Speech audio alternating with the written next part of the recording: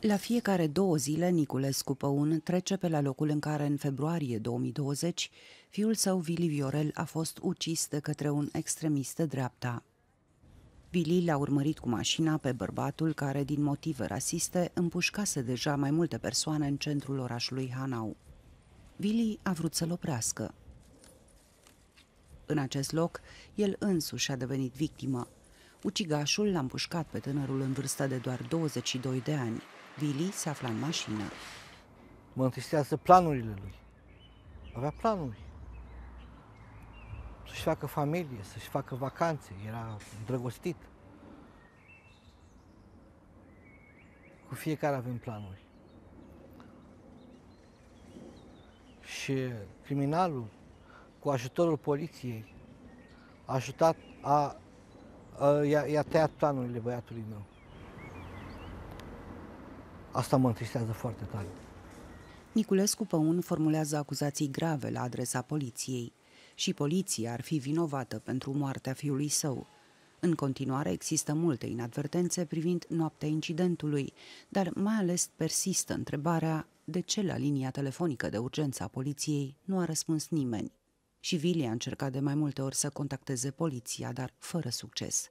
Tatălui este sigur că Vili ar mai fi trăit acum dacă cineva ar fi preluat apelul. Da, fiul meu trăia 100%. Pentru că profesionistul de la capătul telefonului, polițistul, l-ar fi îndrumat, l-ar fi calmat, continuă, de exemplu, continuă urmărirea, oprește urmărirea că venim noi, i-ar fi salvat viața. Invocând ancheta încă în derulare, procuratura din Hanau refuză să facă declarații. Niculescu Păun își dorește și acum ca Vili să-l fi sunat pe el. Dacă i-ar mai putea spune ceva fiului său, i-ar spune... Că eu sunt tot timpul 24 din 24 pentru el. Să mă sune pe mine să nu mai sune pe nimeni. Să mă sune pe mine. Cum am fost toată viața lângă el. Cât a trăit.